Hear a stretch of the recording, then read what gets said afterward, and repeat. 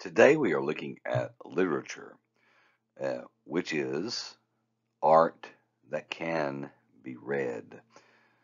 It's an exploration of the art form of literature. Um, literature is, of course, written stories. Um, not always stories, but usually when we think of literature, that's what we're thinking of. If you take a course, uh, courses such as English 101, English 102, the next course you will take in college is a literature course where you study either American literature or English literature. It might be called British literature also, uh, or world literature. You're going to study different uh, geographical locations and the literary stylings of that uh, era and location in history. But literature is an art form, and it's how we as humans have expressed ourselves through time. Now, the definition what is literature? Uh, literature defined as written art with artistic beauty. Literature can be described as written artistic expression that possesses beauty in its language, style, and composition. Uh, so, literature is, of course, an art form. Uh, it's an artistic expression. Uh, how things are written can also, uh, through literature, uh, express certain things. Um, but when we think about literature, we may have a certain idea of what we would consider to be um, literature. Uh, something like uh, Shakespeare, uh, the works of Shakespeare could be included, uh, plays and poetry that Shakespeare wrote, um, War and Peace, which is um, a huge work by Leo Tolstoy. Um, you know, Pride and Prejudice, you know, a long novel, um, you know, or something like uh, Peter Rabbit, which is a, a very short book for children that is considered literature. And then of course, religious texts are also considered literature, whether it be the Bible or um, the Quran, or in this case, the Bhagavad Gita. All of those are considered literature, and, and often we don't think about religious texts being literature and don't treat them as such, but we do uh, a huge disservice to that religious text when we do not see it as a piece of literature, not merely a piece of literature, uh, but grammatical form, all the rules of studying literature still apply to those religious texts.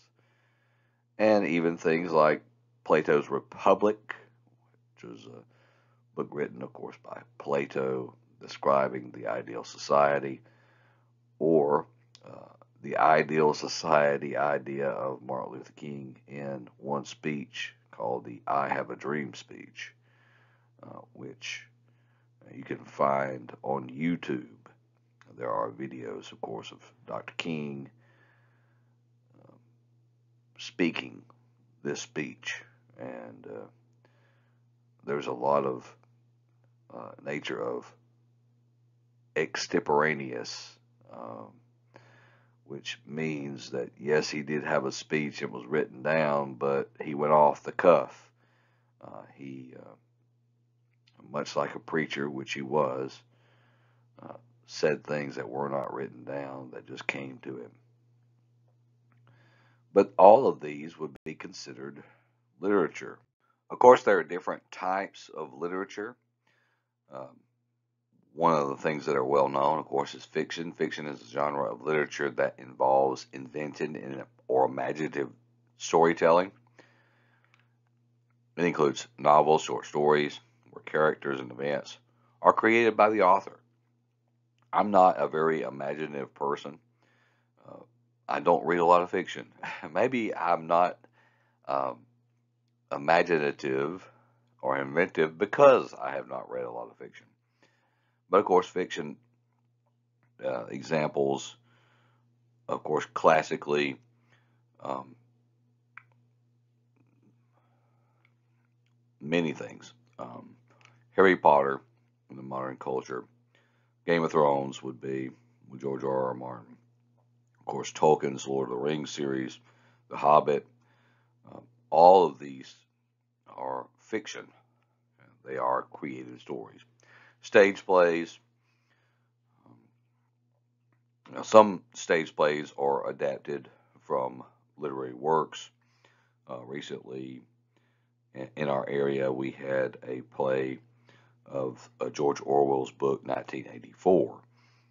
Uh, it's an adaptation. That play would be an adaptation from the book uh, because the book is not written in stage play form.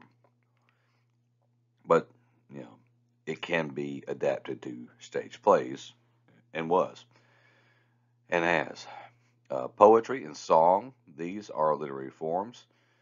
Of course, poetry uh, you can go back to classical British poetry, poetry written by someone like Lord Byron, Robert Browning, someone of that nature. Uh, of course, uh, Shakespeare had uh, poetic sonnets, sonnets that he wrote. Uh, songs are literature. We don't think about songs being literature, but they are. There are they are poems set to music. So it could be something uh, in the world world of religion, something like the the Psalms. A psalm is a poet, uh, a, a poem in a sense, and they are set to music, and uh, often is the case. And so that is true, uh, even up till much much more modern times in our cultural context.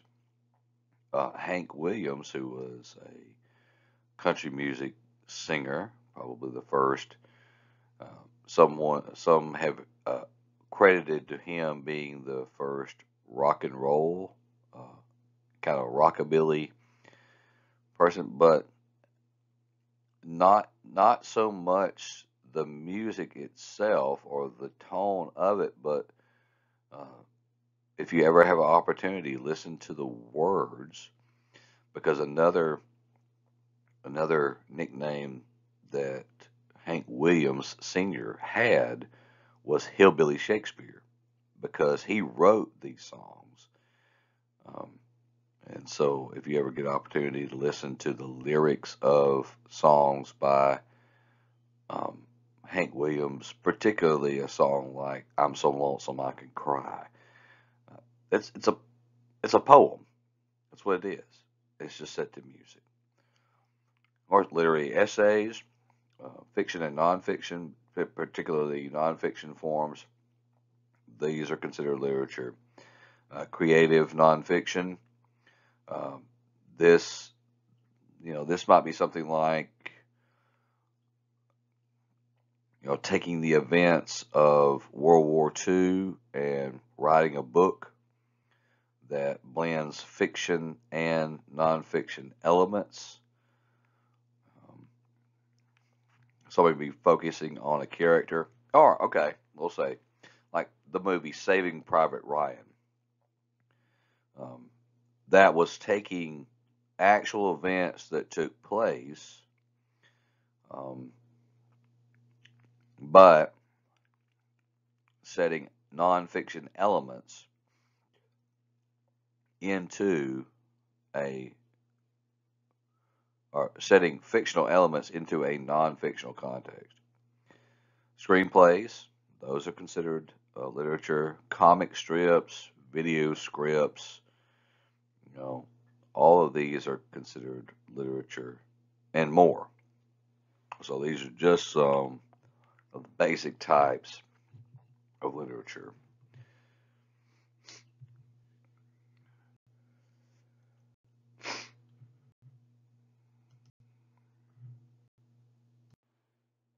Then literature also can be performed as a performing art.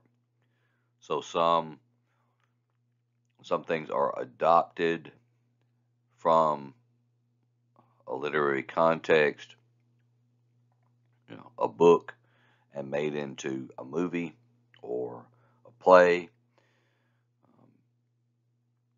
Sometimes they're adopted from things that aren't a book and made it into a movie or movie franchise. But think about something like uh, The Great Gatsby. Of course, it's a book by F. Scott Fitzgerald, and that book has been made into now multiple movies. Even recently, there was a movie just in the past decade uh, starring Leonardo DiCaprio uh, from a book that was written in the 1920s about the excesses of that era. And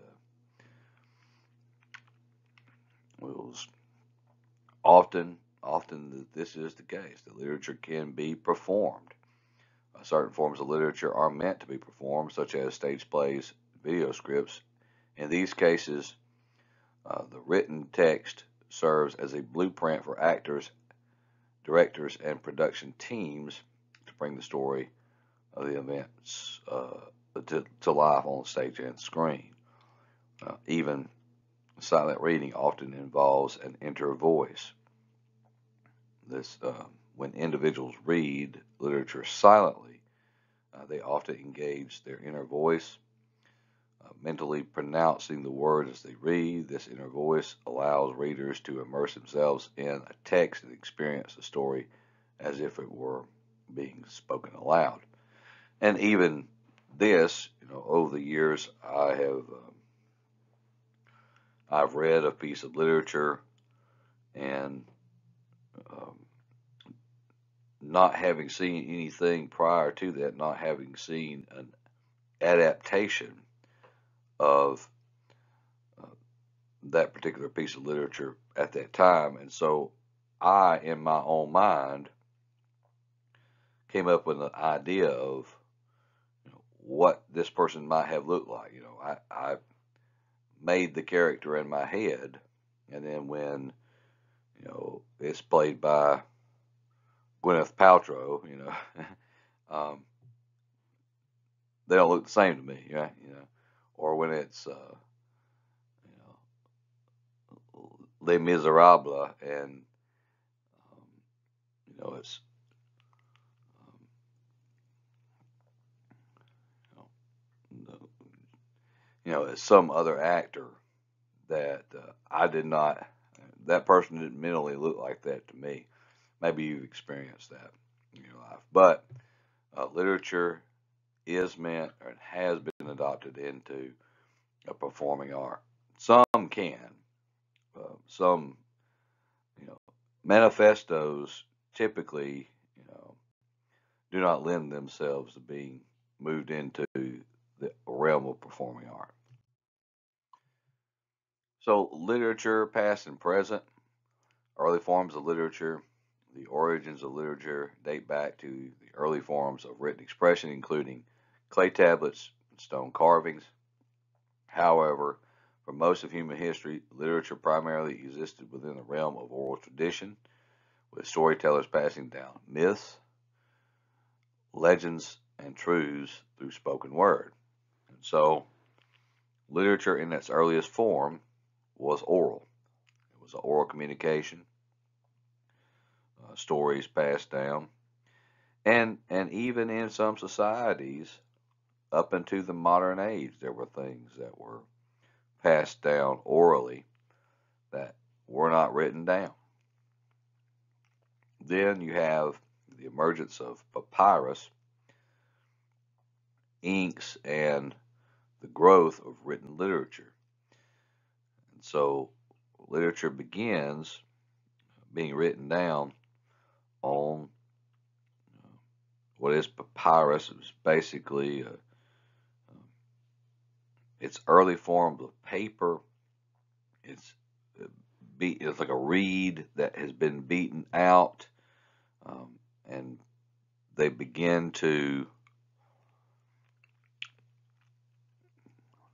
write on things like papyrus in order to make literature mobile. Before that, it is written on you know caves and you know written carved into trees, something of that nature. So it's not mobile. So they take these reeds and they take a stone and they beat these reeds flat and then using ink or uh, blood or other materials they write down communication upon them and then it's easier to uh, record these stories and also transport these stories moving forward. And then manuscript preservation. Uh, throughout history, the preservation of written works was carried out by various institutions, including monasteries, universities, and courts. These organizations collected older writings, stored them in libraries, and copied them by hand to ensure their survival. This painstaking process helped preserve many early works of literature. So, the earliest work of literature, maybe something like Beowulf, who has an unknown author, that's thought to be one of, if not the earliest forms or earliest written stories. Um, you know, you have the Iliad, the Odyssey Homer. These were well, full-on novels uh, written, and when they were written, you know, pre-modern era, they would take a lot of a lot of room, even in written form. Uh, you would have a scroll that might be read in a religious service, and it's not as if that person could just take that piece of paper home with them. It was a scroll that was you, know, you would need a, a cart to roll, and so it would have to be at a certain location like a synagogue or a monastery or a university or court uh, so that you would be able to go to that place and read that copy and you wouldn't have it in your own. Well, of course, that changes in a modern era, and that changes with the invention of the Gutenberg printing press. And so, as far as literature is concerned, this is the greatest technological invention for literature. So this invention of the movable, movable type printing press by Gutenberg. Johannes Gutenberg developed the movable type printing press in the 15th century. It marked a pivotal moment in history of literature and human communication. This revolutionary technology allowed for the efficient printing of books and documents. So when this is printed, the ability to be able to write down. So where a scribe would have hand copied one page um, and have to do it multiple times. Well, with the invention of the printing press and this movable type, um, once they had everything in place, so the type for one page, and by that, think about the keys on an old typewriter if you've ever seen one. And, you know, where you have the word the, T H E. Well, you would just take and on these little pieces, on this section of Gutenberg's printing press, you would spell out these things using small typewriter type pieces of metal. And so you would spell out an entire page of, of everything that was said on that page, and then you would print it. And you could print it one after the other, after the other, after the other. So in the time it would take one person to write that same page once with Gutenberg's printing press, you could have printed 20 pages in that time. So uh, it's a revolution. Uh, it's a it's a great modern day invention. So it's spreading of reading and the written word. And Gutenberg's invention not only made a mass production of books possible, but also played a crucial role in spreading literacy. As books became more acceptable, a portion of the population gained the ability to read and write. This explosion of literature and uh, in quantity and variety, Gutenberg's printing press uh, led to explosion of literature in both terms of quality and variety, with the ability to produce books at a faster rate. Authors could reach a broader audience and a wide range of genres and subjects to uh, begin to be explored. Uh, I'm a student of history as well as humanities, and religion, things like this. Uh, but where they all intersect is here. Uh, one of the periods that I am most fascinated with is the period of the Reformation. And the Reformation begins, depending on which scholar you listen to, but most of them will say that the Reformation begins in Germany in 17, oh, 1517, excuse me, with Martin Luther and the 95 Theses that he writes on the castle door at Wittenberg. There's a lot more to go on with that, but that's just the basics of it. Well, Gutenberg's printing press is uh, developed just a few decades earlier. So one of the reasons I do believe, and it's been argued, that uh, the Reformation spread as far and as fast as it did is because Luther's works were getting printed and they were getting printed quickly because of Gutenberg's invention of the printing press. Um, other reform movements had had had tried to take place, and there was aspects of them that had happened prior to that but it seemed like the perfect storm. And part of that perfect storm was the invention of the printing press. So it was a huge explosion in literature that took place with this revolution of the printing press. Now, modern literature.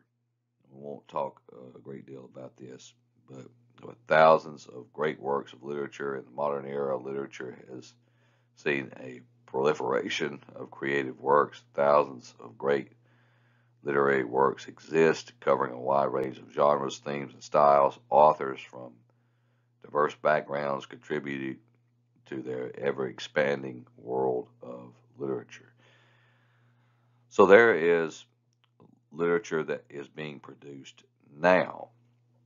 Um, one may make the argument that the quality of literature today is not the same as in past times. That would be an argument I'd make, but um, you know, in the in the modern era, literature seems to be um, a little less creative, uh, a little less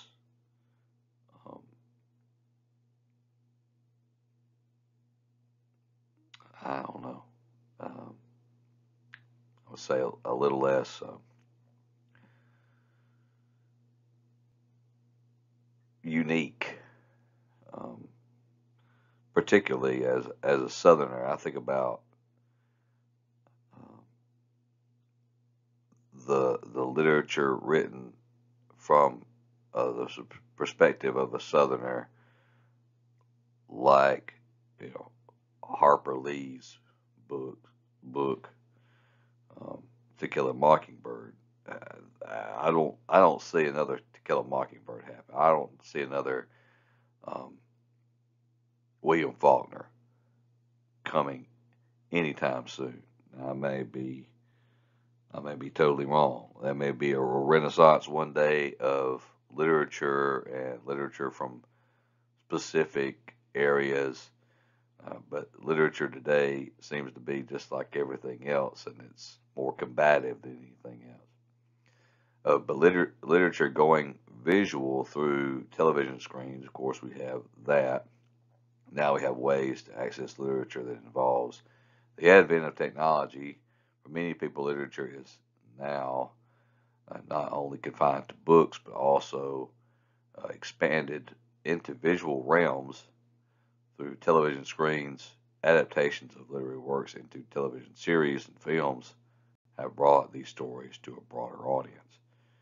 It's just easier um, to connect with a uh, different audience and different people through that medium. So, conclusion that literature is a blend of written and oral expression, that literature is a unique art form that seamlessly combines written and oral expression, whether read silently or performed out loud, literature engages the senses and enter voices, making it a versatile and enduring meaning means of storytelling. And then there's a lasting impact, uh, enduring impact of cultural society that literature has played a significant role in shaping culture and society, and it really it really has. Uh, it reflects the values, beliefs, experiences in different areas or eras, uh, and combines to our understanding. It contributes to our understanding of human history. Uh, great literary works continue to influence and inspire readers, sparking discussions and cultural conversations. So that is the conclusion of this presentation today. I have some discussion questions that you may consider looking over. You may see them again. Um, thank you again for watching this video and uh, have a good day.